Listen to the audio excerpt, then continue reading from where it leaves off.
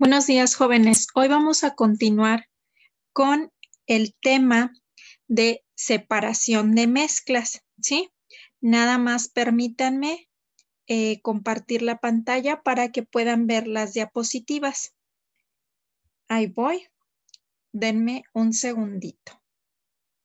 Denme un segundito, un segundito para poder comenzar con el tema ahora sí, para que ustedes lo puedan apreciar de la mejor manera.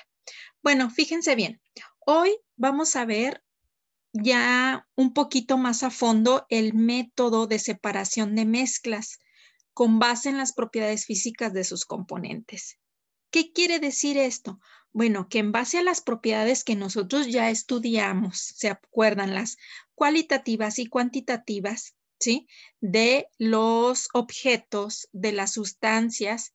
En base a eso, nosotros vamos a poder determinar qué tipo de método de separación utiliza o va a utilizar cada mezcla. El aprendizaje esperado, ya lo habíamos visto, lo volvemos a recordar. Deduce métodos de separación de mezclas en base en las propiedades físicas de sus componentes, ¿sí? Entonces, en base a las propiedades físicas, nosotros vamos a poder determinar qué método vamos a utilizar o vamos a elegir para separar estas mezclas, ¿sí? Vamos a continuar. Ok. Fíjense, la supervivencia humana depende en gran medida de nuestra capacidad para separar mezclas de diversos componentes. Por ejemplo, si yo tengo el agua, ¿sí? Antes de beber el agua, ¿qué debemos de hacer? Se somete a diversos procesos para separar sustancias nocivas y así nosotros tengamos agua potable. ¿Para qué? Pues para realizar nuestras actividades o beberla. Eh, materiales plásticos. Estos se elaboran con sustancias que se separan del petróleo. ¿Dónde utilizamos los materiales plásticos? Pues en los alimentos, ¿sí? Que, este, que consumimos diariamente por lo regular. Eh, siguiente, sustancias que se emplean en los medicamentos.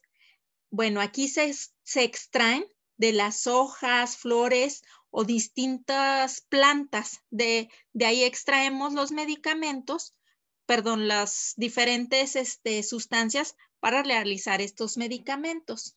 Bueno, y por último, en nuestro organismo.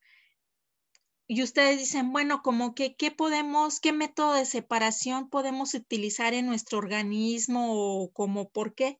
Bueno, la, la separación del oxígeno del aire que respiramos la extracción de nutrimentos de los alimentos. Todos estos métodos perdón, se basan en las propiedades físicas de sus componentes. ¿Sí? Continuamos. Ahora, fíjense bien, para separar mezclas heterogéneas, los métodos más comunes, ¿cuáles van a ser? El, el método de la filtración y la decantación. Yo aquí les puse dos imágenes. Una corresponde a la filtración, ¿sí? Donde vamos a colocar una mallita, un embudo para filtrar un sólido de un líquido. O en el de decantación, donde nosotros vamos a utilizar un embudo, vamos a, podemos tener eh, líquido líquido, pero uno más denso, los cuales vamos a separar, pero vamos a irlos viendo poco a poco. Seguimos. Fíjense bien, vamos a empezar con el método de filtración. Se le denomina al proceso de separación de partículas sólidas de un líquido utilizando un material poroso llamado filtro. ¿Sí? La técnica consiste en verter la mezcla sólido-líquida que se quiere tratar sobre un filtro que permite el paso del líquido pero que detenga las partículas sólidas. Bueno, yo les puse la imagen aquí para que ustedes vieran el ejemplo. Aquí estamos separando un sólido de un líquido. Tenemos una mezcla. Por ejemplo, puede ser, ¿qué les digo? Eh, agua con arroz o agua con piedritas, ¿sí? Tenemos un, un embudo, el cual nos va a ayudar a separar el líquido del material sólido. El líquido va, es el que va a bajar por el embudo y el sólido, sí, se va a quedar ya sea en una mallita o ya sea en el embudo. Ahí estamos separando este, estas mezclas. Entonces, recuerden, este método es de filtración. Seguimos. Otro método, decantación. Es un método físico utilizado para la separación de mezclas heterogéneas, el cual se usa para separar un sólido de uno o dos líquidos de diferente densidad, ¿sí? Fíjense bien, decantación sólido, líquido. Se utiliza cuando un componente sólido se encuentra en suspensión en un líquido. Ahora, decantación líquido-líquido. Se separan líquidos que no pueden mezclarse y tienen densidades diferentes. El líquido más denso se acumula en la parte inferior del sistema. En, el laboratorio se usa un embudo de bromo, también conocido como embudo de decantación o incluso embudo de separación. Yo aquí les puse la imagen para que lo conozcan. Este es el que se utiliza en el laboratorio, que es el embudo de decantación, por el cual nosotros vamos a verter la mezcla por la parte superior, ¿sí? Tenemos una mezcla aquí de agua con aceite. La menos densa se va a quedar en el, en el fondo del, del embudo y por medio de esta llave que tiene aquí, nosotros vamos a poderla abrir para dejar salir el agua. Y el el líquido, el más denso, es el que la sustancia más densa es la que se va a quedar en el embudo. Entonces, aquí ya podemos hacer este tipo de separación, ¿sí? Un ejemplo de para separar mezclas de decantación por medio de decantación, pues es el agua y el aceite. Vamos con las siguientes. Para separar mezclas homogéneas, los métodos más comunes son destilación, extracción y el, la cromatografía, ¿sí? Vamos a ver cada uno. Ok, empezamos con, la, con el de destilación. Es el proceso de, de separar los componentes o sustancias de una mezcla líquida mediante el uso de ebullición selectiva y la condensación. Aquí que vamos a utilizar, nos están diciendo que vamos a utilizar la ebullición o sea, vamos a poner, para que ustedes me entiendan, vamos a poner a hervir la mezcla, ¿sí? Vamos a vaciar la mezcla. Este, este equipo se utiliza en el, en el laboratorio de destilación y aquí podemos eh, separar una mezcla de agua con alcohol, ¿sí? Eh, la mezcla se separa por medio de estos tubos y nos dice aquí muy claro, tenemos que utilizar la ebullición, o sea, tenemos que poner a hervir, tenemos que ponerlo a fuego, ¿sí? Ahí podemos separar esas mezclas. Ahora vamos con, la, con el de extracción. Es un procedimiento de separación de una sustancia que puede disolverse en dos disolventes no miscibles entre sí, con distinto grado de solubilidad y que están en contacto a través de, un, de una interfase. Entonces, aquí el ejemplo de extracción puede ser un jugo de frutas fibroso, que es el que en el que se separa el líquido de la pulpa o pasta densa de la fibra. Para separar este, este tipo de mezcla podemos utilizar el de extracción.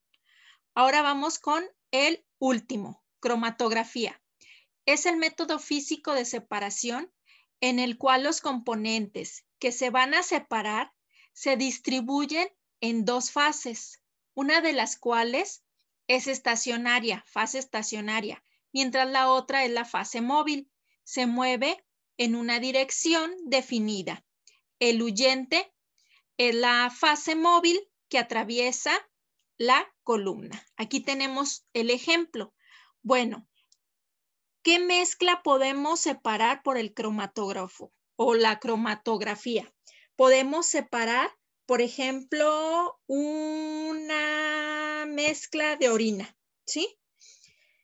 Aquí la podemos separar y podemos notar si consiste en la exposición de una mezcla, ya sea gas, papel, un líquido neutro, para así aprovechar las diferencias en la velocidad de la absorción de cada componente de la mezcla, identificarlas y a partir del espectro de color que la mezcla arroje en el tiempo. ¿Sí? Por eso les estoy indicando que puedes, este, este tipo de, de método de separación se utiliza en la muestra de la orina, ¿sí? Para nosotros saber si la orina contiene sangre o contiene algún otro elemento o sustancia que no debe de contener.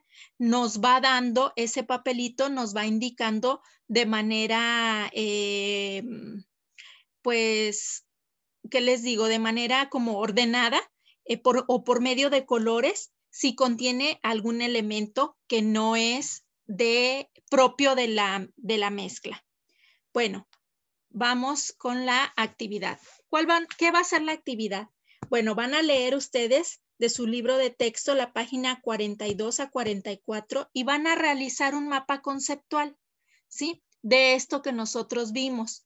Yo ya les extraté de, uh, les di una explicación, ya lo está, lo vimos eh, un poquito eh, el video anterior, ya ahorita un poquito más a fondo. Recuerden que los métodos de separación, eh, pues son los que nos van a, a separar los diferentes componentes de una mezcla. Para esto se utilizan diversos métodos. Ya vimos cuáles en mezclas homogéneas, heterogéneas. Ojo, hay más métodos. Yo solamente les nombré algunos, los más utilizados, ¿sí? Vamos a darle una checadita a nuestro libro para ver qué otros métodos hay. Bueno, entonces eh, realizan su mapa conceptual y nos vemos más tarde para ver cómo les quedó su actividad.